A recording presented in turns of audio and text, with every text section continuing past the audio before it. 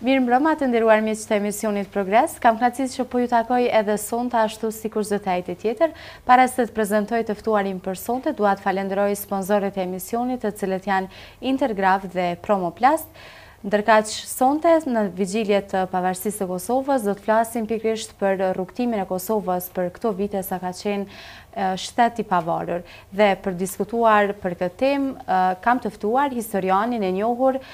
zotëri Ilir Bytyqi. Mirë se erdhët, është shumë kënaqësi. Faleminderit për ftesën edhe kënaqësia është edhe imja që bashkarisht do ta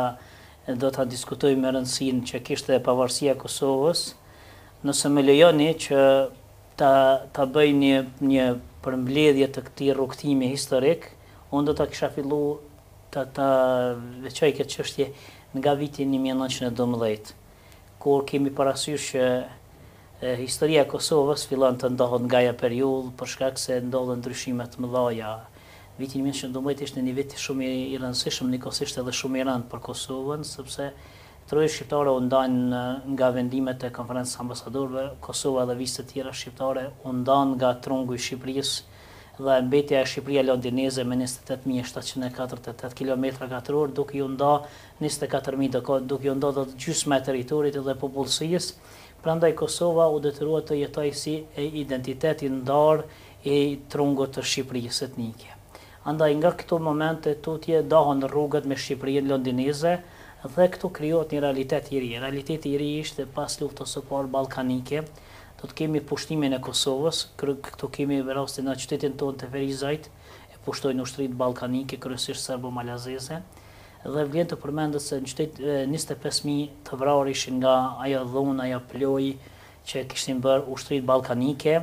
vlen të përmendet se vetëm në qytetin e Ferizajt të dhënat shkojnë nga një mijë e pesëqind deri në një mijë e shtatëqind të vrarë të një popullate prej tre mijë banorësh të këtij qyteti tonë,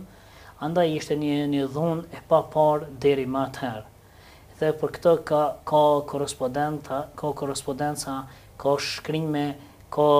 gjëna të ndryshme nga opinioni evropian për këtë formë të dhunës. Mirëpo edhe kjo u tejkalu dhe vazhdoi periudha e sundimit serb deri në vitin një mijë e nëntëqind e katërmbëdhjetë. Kosova në atë kohë pushtohet nga ushtritë e e bllokut qendror dhe aty janë Bullgaria dhe Austro-Hungaria dhe do të qëndrojnë deri vitin një mijë e nëntëqind e tetëmbëdhjetë. Humbja e Luftës së Parë Botërore nga blloku trepalësh apo qendror bëri që përsëri me mendimin e Francës Serbia të kthehet në Kosovë dhe të ndodhë ripushtimi i saj në fundin e vitit një mijë e nëntëqind e tetëmbëdhjetë. Nga ajo periudhë e tutje Kosova do të humbë me qindra mijëra njerëz, Do të bëhen shpërngulje të mëdha për në Turqi, në Shqipëri më pas, dhe do të krijohet një një klimë shumë e vështirë politike, ekonomike dhe shoqërore. Kjo ka bërë kryesisht pas themelimit të Jugosllavisë me vendimin e Konferencës së Paqes Versajës një mijë e nëntëqind e tetëmbëdhjetë, nëntëmbëdhjetë, krijohet Jugosllavia. Në atë kohë Kosova do të bëhet pjesë përbërëse e e Jugosllavies por si koloni e saj do të thotë një një periudhë shumë e vështirë ku shpërnguljet, dhuna, djegia e fshatrave, format e represionit ushtarako-policor ishin pothuajse të përditshme. Andaj kjo ishte një periudhë e vështirë me të cilën u përball jo vetëm treva e Ferizajt por e gjithë Kosova. Vlen të përmendet se njëra nga format e dhunës ishte edhe reforma agrare kolonizuese, e cila ua merrte tokat shqiptarëve me qëllim të krijimit të një klime sa më të papërshtatshme për të ikur dhe për të provokuar sa më shumë shpërnguljet. Ky ky fat i rëndë e përcilli vendin tonë, Në një rrugëtim plot sfida e sakrifica, ku vlen të përmendet në atë kohë për ta kundërshtuar këto forma të dhunës dhe represionit serbomadh e më pas edhe jugosllav, Jugosllavisë mbretërore, ishin organizuar lëvizjet e kaçakëve, ishte Komiteti Mbrojtja Kombëtare e Kosovës, mirëpo megjithë rezistencën antiserbe, ishte e pamundur që Të çliroheshim njëherë e përgjithmonë nga dhuna e pushtetit jugosllav që dominohej nga elementi serb. Vlen të përmendet se në vitet e tridhjeta do të kemi një dhunë të strukturune, dhuna do të bëhej e strukturune dhe kjo vjen si shkak i krijimit të elaborateve. E kemi elaboratin e shtatë marsit një mijë e nëntëqind e tridhjetë e shtatë të akademikut serb Vasa Çubrilloviçit. Ajo kishte të bënte me shpërnguljen e arnautëve, edhe po përkatësisht shqiptarëve, sepse kështu emërtohej programi, dhe ai program ishte i dëmshëm. Ai u vu në bazë, ai program ishte bazë e politikës së jashtme serbe, e cila kishte për qëllim ta spastronte Kosovën dhe njëkohësisht ta popullonte me ta mbushte me popullatë serbo-malazeze. Andaj, kjo formë e dhunës do të kurorëzohej me marrëveshjen, e jugosllavo-turke Konventa e vitit njëmbëdhjetë korrikut një mijë e nëntëqind e tridhjetë e tetë e cila kishte për qëllim t'i dëbonte shqiptarët nga trojet e tyre dhe të krijonte një situatë të vështirë për ekzistencën e popullit tonë edhe pse populli ynë kishte ai ishte autokton mirëpo megjithatë Kjo ishte një politikë e organizune, e mirëmendune dhe afatgjate e Sërbies po njëkohësisht e përkrahune edhe nga fuqitë e mëdha, sidomos në atë kohë ishte roli destruktiv i Rusisë cariste më pas asaj komuniste dhe kjo krijoi një klimë vërtet të rëndë për ekzistencën e popullit tonë në trojet e veta. Këtë problem nuk e kishtin veç Kosova por e kishin edhe trojet shqiptare në Maqedoninë, Mal të Zi, Lugina e Preshevës e kështu me radhë do të thotë këto që metën jashtë trungut etnik, Shqipëria jetoi si e ndarë, sepse aty ndodhen ndryshime tjera politike, të ndara nga realitetet e këtushme,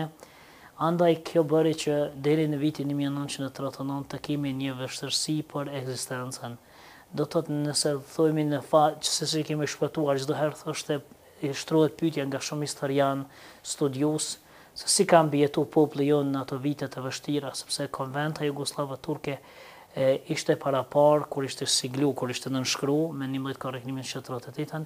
ishte paraparë që mbrenda periudhës gjashtëvjeçare të shpërnguleshin mbi katërqind mijë shqiptarë dhe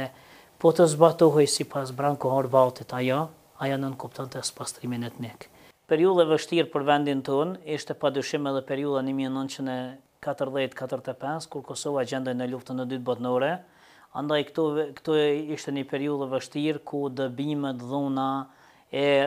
e ushtruar nga ana e autoriteteve jugosllave dhe më të ndikuara nga elementi serb, bëri që të kemi mbi katërdhjetë e tetë mijë të vrarë nëpër masakra kudo që kulmuan me masakrën e Tivarit, edhe në qytetin tonë të Ferizajt ishin mbi dy mijë të vrarë në atë periudhë në vitin një mijë e nëntëqind e katërdhjetë e katër, por të vazhduar më pas me ripushtimin jugosllav të të vitit të shkurtit një mijë e nëntëqind e katërdhjetë e pesë, andaj kjo periudhë vazhdoi e vështirë për vendin tonë deri në vitin një mijë e nëntëqind e gjashtëdhjetë e gjashtë, kur Nga pushteti në Jugosllavi do të largohet Aleksandër Rankoviqi dhe nga ai moment e tutje filloi një të hiqet laku i Kosovës, filluan të vijnë të drejta më të mëdha për popullin tonë, një mijë e nëntëqind e shtatëdhjetën u hap Universiteti i Prishtinës, i cili ishte ngjarja më e madhe që ndodhi në atë kohë në krahinën e Kosovës, që kështu emërtohej me term zyrtar, për të kulmuar me një mijë e nëntëqind e shtatëdhjetë e katër me Kushtetutën. Kjo periudhë shënoi hapa të rëndësishëm sepse Kosova u shndru në njësinë konstituive të Jugosllavisë dhe u hapën bankat, u krijua një sistem gjyqësor, me një fjalë e u krijuan elementët kryesore që e ndërtuan shtetin. Prandaj faza e parë e krijimit të të Kosovës si shtet ishte pikërisht një mijë e nëntëqind e shtatëdhjetë e katër, një mijë e nëntëqind e tetëdhjetë e nëntë. Mirëpo, në tetëdhjetë e shtatën ndodhi një ndryshim i madh politik në Jugosllavi. Sepse erdh në krye të Serbisë, të Lidhjes Komuniste të Serbisë erdh në diktatori i Serbisë Sllobodan Millosheviçi. Dhe ai minjëherë filloi masat për me reduktu autonominë. Momenti krucial ishte në datën njëzet e tre mars një mijë e nëntëqind e tetëdhjetë e nëntë kur iu morr me masa të dhunshme autonomia e Kosovës dhe filloi një situatë shumë e vështirë. Filloi ajo që njihet në Kosovë si aparteidi politik. Kemi mbylljen e Televizionit të Prishtinës me pesë korrik një mijë e nëntëqind e nëntëdhjetë, kemi protesta gjithëpopullore për të ardhur te ngujimi e minatorëve në zgafellat e minierës Trepçës dhe viti një mijë e nëntëqind e nëntëdhjetë ishte edhe më i rëndë, sepse përveç mbylljes së shkollave shqipe kemi edhe helmimet nëpër shkolla, shtatë mijë nxënës u helmonën si pjesë e dhunës së orkestruar nga pushteti serb, dhe një mijë prej tyre ishin n'Ferizaj, do të thotë çdo i gjashti i helmun ka qenë nga qyteti jonë, do të thotë ka qenë një një organizim i nga ana e shtetit një, një organizim makabër që e ka bërë shteti Jugosllav me qëllim të shkatrrimit të rinisë së Kosovës. Por a, a, edhe as këto masa nuk e mposhtën andrën e popullit tonë për liri. Prandaj në vitin 1990 kemi krijimin edhe të Shtrirjen në tetëdhjetë e nëntën u krijua, në fund të tetëdhjetë e nëntës u krijua Lidhja Demokratike e Kosovës, kurse nga ai moment e tutje ajo u bë një lëvizje gjithëpopullore, e cila e morri fatin e popullit tonë drejt zgjidhjes së çështjes së Kosovës. Mirëpo pika kthesë për Kosovën ka qenë Marrëveshja e Dejtonit, ku nuk u përfshi Kosova në Dejton dhe fillonën të hapet rruga e luftës së armatosur për shkak se rezistencës paqësore të Kosovës me gjithë arritjet e sukseset që kishte për kohën i mungonte komponenti ushtarak prandaj nëntëdhjetë e pesta shënoi një pikë kthesë në daljen e parë në daljen e grupeve të para të Ushtrisë Çlirimtare të Kosovës të cilat kulmuan me në me datën njëzet e tetë shtë njëzet e tetë nëntor një mijë e nëntëqind e nëntëdhjetë e shtatë me daljen në Llaush dhe nga ai moment e tutje në Kosovë do të kemi organizimin e luftës së armatosur, e cila do të fillojë pikërisht me datat pesë gjashtë dhe shtatë mars një mijë e nëntëqind e nëntëdhjetë e tetë me sulmin ndaj familjes Jashari në Prekaz dhe nga ai moment e tutje filloi lufta në Kosovë dhe ajo do të kurorëzohej me Datat dymbëdhjetë qershor kur që do të çlirohet Kosova dhe do të krijohet një realitet i ri. Mos të harrojmë një fakt, çlirimi i Kosovës ishte një një arritja më e madhe e shqiptarëve për një shekull. Nuk e përmenda kot vitin një mijë e nëntëqind e dymbëdhjetë te viti një mijë e nëntëqind e tetëdhjetë e nëntë. Tetëdhjetë e shtatë vjet tetëdhjetë e shtatë vite vujtje, sakrifica e shumë brezave për liri edhe përpjekje të shumtë njerëzve, patriotëve të këtij vendi, ka bërë që edhe ta, ta zgjojnë edhe ndërgjegjen ndërkombëtare. Do të thotë, lufta e Kosovës ishte edhe një, një element, kishte një element shumë të rëndësishëm, për shkak se arriti ta mobilizojë për herë të parë faktorin shqiptar. Ne gjatë tërë historisë kemi pas kryengritje, luftra, mirëpo nuk e kemi pas përkrahje ndërkombëtare. Ajo ku fuqitë e mëdha i krijojnë edhe i, i krijojnë shtetet. Pa diskutim, sepse edhe Shqipëria u kriju në një konferencë të ambasadorëve në Londër. Tani kishte ra rasti që edhe Kosova të lindë si shtet. Krijimi i Kosovës si shtet lindi në pikërisht në Marrëveshjen e Rambujes, me nga data gjashtë shkurt deri me njëzet e tre mars ishte ajo pjesa një pjesa e parë me në Rambuje dhe e dyta në Paris u nënshkru nga pala shqiptare dhe ajo i hapi rrugë intervenimit të NATO-s, shtatëdhjetë e tetë ditë intervenime, mbi dhjetë mijë bombardime ndaj ish-Jugosllavisë, ndikuan që me dhjetë qershor të nënshkruhet Marrëveshja e Kumanovës, e cila shënoi një hap të rëndësishëm historik sepse pikërisht në Kumanovë u marr Kosova nga Turqia edhe në Kumanovë u dorëzua Kosova trupave ndërkombëtare. Do të thotë Kumanova ishte shumë e rëndësishme sepse aty historia po e përsëriste vetveten. Vlen të përmendet edhe një fakt i rëndësishëm është që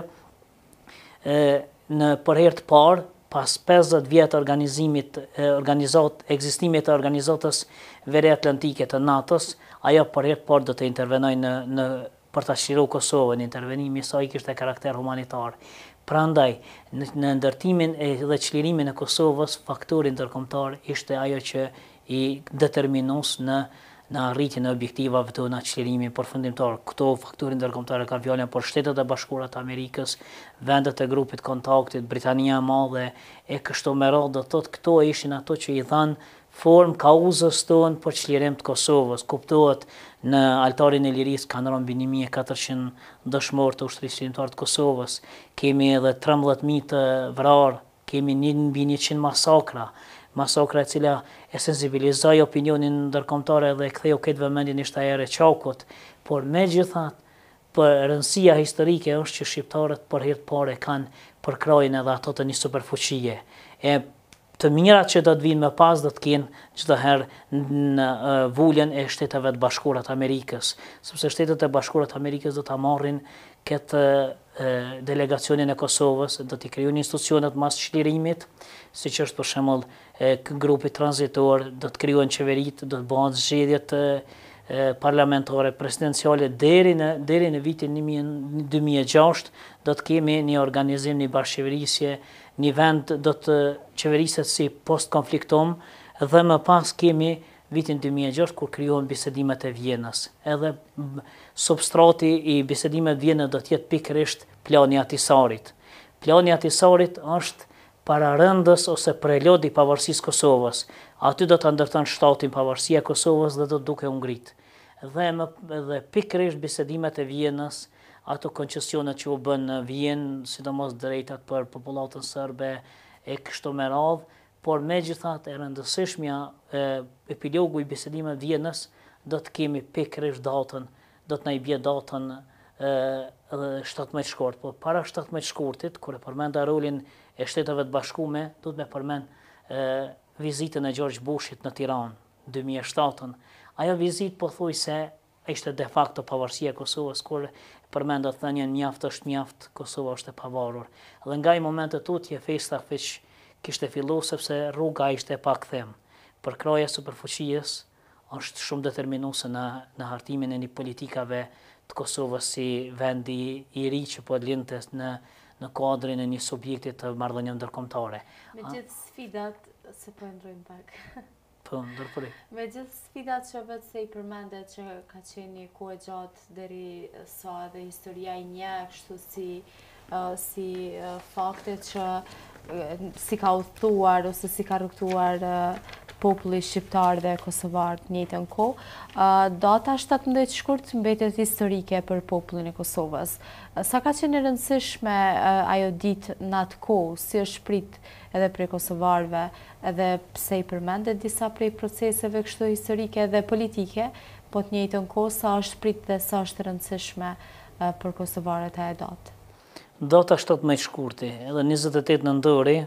janë datat më të maja në historinë e popullit tonë. Ato ato dy data na japin një simbolikë shumë të rëndësishme, lindjen e dy shteteve. Do të thotë tash në Ballkan dhe në Evropë po lind një shtet i ri, Më kujtohet rasti kur tri ditë para pavarësisë, ishte dita e premte se pavarësia është shpall me shtatëmbëdhjetë shkurt ditë e diel, kur në atë kohë presidenti francez Nicolas Sarkozy, që ja ndryshoi për një herë e përgjithmonë politikën, qasjen politike të Francës në favor të Kosovës, që nuk ishte një praktikë nga e kaluara, I ua bën me gisht në hartën e Evropës thotë do të lind një shtet i ri, thotë nuk do të shkon shumë gjatë. Do thotë ishte dy tre ditë përpara pavarësisë kur opinioni në Evropë e kuptoi që rruga është pa kthim. Edhe realisht u bë një një punë e madhe, do do t'i falënderoj gjithë ata burra, ata gra që dhanë Gjithçka nga vetja që ta bëjmë Kosovën shtet. Ne tregonëm gjatë historisë kemi pasë sakrifica të mëdha, por për me kriju një shtet duhet çdo herë me pasë një mbështetje ndërkombëtare. Mbështetja ndërkombëtare ishte çdo herë në vijë dhe për të ardhur deri te data shtatëmbëdhjetë shkurt. Data shtatëmbëdhjetë shkurt u mbledh Kuvendi në ora pesëmbëdhjetë e tridhjetë e nëntë shënohet historia. Aty në deklaratën e pavarësisë do ta lexojë kryeministri i Kosovës Hashim Thaçi dhe do të nënshkruhet nga kryetari i Kuvendit, në atë kohë ishte Jakup Krasniqi, më pas Fatmir Sejdiu presidenti i Kosovës dhe Hashim Thaçi njëkohësisht edhe autor që e lexoi deklaratën, ku thotë se të zgjedhurit e popullit të Kosovës të mbledhur sot në Kuvend e shpallin Kosovën shtet të pavarur dhe demokratik, dhe natyrisht njëqind e njëzet deputetët e nënshkruan dokumentin që ishte një dokument pergamin, dhuratë nga Muzeu Britanik. Këtu e tham që kjo, kjo ka qenë një, Kosova ka qenë një projekt ndërkombëtar, është punë, është bërë një punë jashtëzakonisht e madhe, miqtë e Kosovës ishin shumë të rëndësishëm, në, në, kemi, kemi ndikimin e George, George W. Bush-it, Toni Blerit, e e një një numër i madh i diplomatëve të cilët edhe i burrështetasve të cilët e përkrahën edhe edhe jo vetëm ditën e pavarësisë dhe shpalljen e saj, por edhe te njohjet ndikuan, edhe te njohjet ndikuan që njohjet të gjitha kanë ardhur falë falë meritë e me meritë e madhe është e Shteteve të Bashkuara me Britani dhe Britanisë së Madhe, të cilat ishin e zëdhënësi dhe faktori kryesor që Kosova është sot ku është. Natyrisht ne kemi bë punën tonë si popull, si institucione, por por pa e pas një përkrahje kontinuitive, të vazhdueshme dhe edhe stabile ndërkombëtare është problem të ekzistojnë shtetet. Ne po jemi dëshmitarë tash të shumë ngjarjeve që po ndodhin nëpër botë, por kur e ki përkrah një fuqie të madhe, atëherë ne veç duhet të t'i shkojmë mbrapa edhe t'i dëgjojmë rekomandimet edhe të vazhdojmë ta ndërtojmë shtetin për ditë e më shumë. Vlen të përmendet se kur u shpall pavarësia, shtetet e para që e kanë njoft kanë qenë Kosta Rika, Afganistani, Britania e Madhe, Franca, Britania e Madhe, Shqipëria dhe Shtetet e Bashkume. Do të thotë Shtetet e Bashkume hinë menjëherë në mesin e shteteve të para. Tani për t'u pasuar nga Gjermania, Italia, E Republika e Turqisë ishte shumë e rëndësishme sepse në atë ditë shkonte edhe live në parlamentin turk shpallja e pavarësisë, do të thotë ishte një opinion i mirë ndërkombëtar ka qenë në favor të shpalljes së pavarësisë. Vlen të përmendet që elementet kryesore të pavarësisë janë edhe himni, himni kombëtar,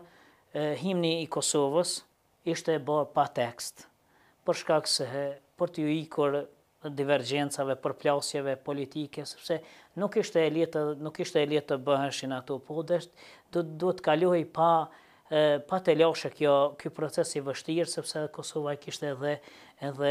pjesën tjetër të medaljes, armiqtë e Kosovës ishin Rusia, Kina, Irani, gjithë këto që ishin aleatë të Serbisë, gjithë ata ishin me një vijë me Serbinë. Prandaj edhe duhet të bëhej pak a shumë në në koordinim të plotë me Washingtonin, Londrën, vendet e ndryshme të Bashkimit Europian, që mos me shkaktu telashe sepse pavarësia e Kosovës mos me prodhu ndonjë konflikt tjetër. Ishte mendu mirë, ishte bërë Kosova rast sui generis, mos me përngja asnjë konflikti tjetër në botë, sepse çdo herë edhe sot e kësaj dite Spanja Rumania e shumë shtete tjera nuk e njojnë duke llogarit që Kosova do të i shkakton një problem, mirëpo ndërkombëtarët kanë punu me me kujdes edhe na i kanë na i kanë dizajnu ketë shtet. Sa i përket elementeve kryesore që janë të shtetit siç janë stema flamuri të cilat janë dizajnuar nga Muamer Ibrahimi kurse himnin pa tekst e ka e ka bo vetëm me një melodi është himni për shkak që mos me shkaktu Probleme as me ndërhyrje e ka ba Mendi Mengjiqi. Flamuri i Kosovës është dizajnu si me gjashtë yje, harta e Kosovës është në qendër me me ngjyrë të verdhë, flamuri në ngjyrë kaltërt, mos me pas edhe edhe aspekte nacionale, është mendu me kujdes. Edhe gjashtë yjet e përfaqësojnë gjashtë komunitetet në Kosovë. Për fillim ka qenë i i vështirë sepse populli jonë e e ishte ishte pak e vështirë të pranohej, mirëpo megjithatë ky flamur Shpejt u pa, u bo si pjesë e e shtetësisë Kosovës edhe po konsideroj që është një pjesë e rëndësishme sepse Kosova i tash i kishte edhe simbolet e veta, kishte himnin, stemën edhe kështu që gradualisht filloi të ta bëjë konsolidimin. Momenti i rëndësishëm i mas pavarësisë Kosovës është data nëntë prill. Sot nëntë prillin e kemi ditë pushimi, sepse është data e hyrjes e dita e Kushtetutës, dhe nga ai moment e tutje Kosova do ta ketë edhe Kushtetutën, natyrisht me me rekomandimin e ndërkombëtarëve kanë punuar dhe ekspertët vendorë, ka pas elemente të marrun edhe nga Kushtetuta e Kaçanikut, që ka qenë si pjesë e rregullimit juridik dhe konstituiv të çështjes Kosovës, prandaj këto gjitha u gërshetuan edhe u ndërtu një shtet i cili tani po feston gjashtëmbëdhjetë vite, me shumë sfida, me shumë telashe, mirëpo ka fillu gradualisht ta ta merr veten. E rëndësishme për me funksionu një shtet normal është edhe edhe hyrja e tij në OKB. Kosova ende nuk ka hyrë në OKB, por mos të kjo çështje është sa brenguese çaq edhe nuk mvaret nga nga ne shqiptarët sepse është përplasje e fuqive të mëdha, njëra në anë blloku perëndimor, i prirur nga Shtetet e Bashkuara dhe lindja e udhëhequr nga Kina e Rusia, por gradualisht kur e ke përkrahjen e fuqive më kryesore që e kanë e e kanë rrit këtë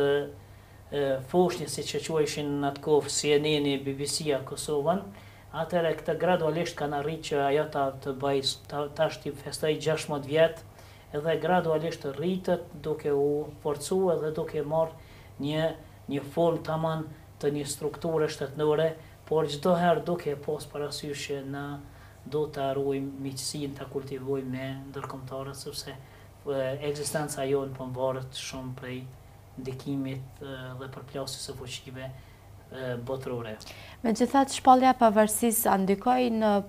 në procese të ndryshme, ndoshta në atë kohë, në atë fillim kur u shpall pavarësia, ndoshta edhe në raporte me shtetet partner me shtetet që e kanë përkrahë Kosovën, po edhe me shtetet fqinjë. Unë përmenda më herët, një realitet i ri u kriju edhe fatmirësisht me ndihmën e pakursyshme të faktorit ndërkombëtar, sidomos kush janë Shtetet e Bashkuara dhe vendet kryesore të Bashkimit Evropian, Andaj kjo krijoi një realitet të ri, sepse shtetet që e ndihmuan, ato edhe i ndihmuan shtetit të ri të inkuadrohet, për shembull, u inkuadru në Bankën Botërore, në FMN, në Fondin Monetar Ndërkombëtar dhe në disa organizata tjera dhe gradualisht kemi fillu të të hyjmë në agjendën e e organizatave ndryshme ndërkombëtare, mirëpo një ende Kosova ka punë për të bërë, për shembull një nga to e ka për detyrë për t'u bërë anëtar i Kombeve të Bashkuara, sepse një shtet për të funksionuar normal, për me mos me pas kundërshtime nga pjesa tjetër e e vendeve që s'e ka njoft, është për të është e obligueshme që të jetë pjesë e Këshillit pjesë e OKB-së, por realisht kjo nuk varet krejt prej Kosovës, varet edhe prej Fuqive të mëdha për kompromise që i bëjnë në një vend ose në një vend tjetër e tani por me prit me na ardhë radha që edhe ne të jemi me ulëse në Kombet e Bashkume atëherë Kosova edhe përveç se krijon ulëse duhet me pasë edhe një një agjendë evroatlantike që besoj që e ka dhe gradualisht për të qenë një shtet normal i i pacenu nga përplasjet mes superfuqive botnore Është mirë që Kosova ta ketë edhe një ulëse tjetër në Bruksel, përkatësisht të jetë anëtare e NATO-s. Mirëpo fati i mirë që e kemi bashkësinë ndërkombëtare këtu, e kemi në qytetin tonë, e kemi edhe kampin Bondsteel, rrethekomi nga miq që janë pjesë e NATO-s, siç është për shembull vendet e rajonit që Shqipërinë që e kemi edhe edhe fqinj, po e kemi edhe shtet amë, edhe e rëndësishme është që gradualisht Kosova do do të do të forcohet në aspektin institucional, T'i forcojmë institucionet sepse e kemi sfida që na presin ende në të ardhmen. Si kanë qenë këto gjashtëmbëdhjetë vite si shtet i pavarur, sepse pavarësisht që mund të duken pak, ndoshta në aspekt historik nuk është pak, edhe në anën tjetër ka pas procese të ndryshme, ka pas vendime të ndryshme, ka pas qeverisje të ndryshme që në një formë apo tjetër me siguri Kanë lënë gjurmë dhe kanë lënë vepra në historinë e Kosovës. Këto gjashtëmbëdhjetë vite kanë qenë vite të ngarkume sepse kanë kanë determinu shumë procese politike që kanë ndodhë. Kanë ndodhë për shembull e kemi përmend pranimin në disa organizata ndërkombëtare. Kosova me shpalljen e pavarësisë është bo një faktor i rëndësishëm stabiliteti në rajon. Kjo është shumë e rëndësishme dhe realisht situata politike e Kosovës nuk ka reflektu te vendet tjera në te konfliktet tjera të ngrira në Evropë edhe në botë dhe ka qenë një histori suksesi edhe shumë është e rëndësishme kjo të përmendet se gjatë rrugëtimit gjashtëmbëdhjetë vjeçar me gjithë sfidat me gjithë problemet e brendshme që kishte hasur krizat e shpeshta qeveritare ndrrime qeverish do të thotë Kosova që nga pavarësia Është problem që një qeveri e ka kalu një mandat, e ka përfundu një mandat. Do të thotë kemi pas çdo herë koalicione, kemi pas përplasje politike, ballafaqime që nuk i kanë nuk i kanë ba mirë vendit tonë, por që kanë qenë pjesë e e një rrugëtimi historik, ndoshta edhe krijimi i shtetit, përplasje derisa të kanalizohen edhe edhe partitë politike, derisa të krijohet një frymë ma shtetnore për mos për me ik për me ik krizave dhe me shku drejt konsolidimit unë mendoj që megjithë sfidat janë bo hapa të rëndësishëm në në krijimin e një Kosove të pavarur dhe gradualisht po besojmë që vitet e ardhshme edhe do të bëhen edhe më shumë kemi kemi probleme të mëdha për shembull kemi pas një kohë çështjet e rregullimit të kufeve një herë me Maqedoninë, tani me pas me Malin e Zi, në tani tani kemi problemin e e asociacionit të komunave që është një sfidë që po na përcjell, po na shkakton shpesh edhe telashe edhe me faktorin ndërkombëtar. Këto janë pjesë që e përcjellin rrugëtimin edhe vështirësitë tona, por po besoj që në të ardhmen do t'i tejkalojmë sepse gjëja më e rëndësishme është bë. Shteti është kriju, këto janë probleme që i kanë çdo shtet, çdo shtet që ka ekzistu ka pas problemin e rregullimit, problemin e pakicave kombëtare, problemet e kufijve, kriza qeveritare, sot edhe në edhe në vendet më stabile në botë ka nganjëherë